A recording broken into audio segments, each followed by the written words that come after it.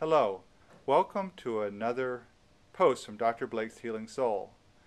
Have you ever lost your marbles? Well, I sure have.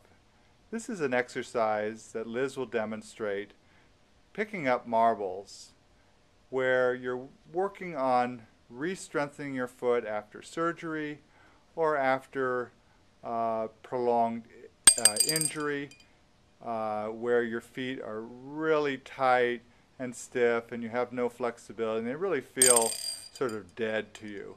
You can see Liz is going through the process of gripping with her toes and trying to uh, you know get that range of motion and a little bit of tone and and um, and strength back into those muscles.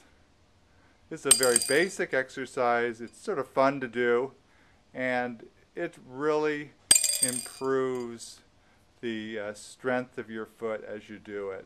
And your goal is not speed, but just to very slowly go through about 20 to 30 marbles uh, on each foot to, uh, to do it once a day and to gain some good strength.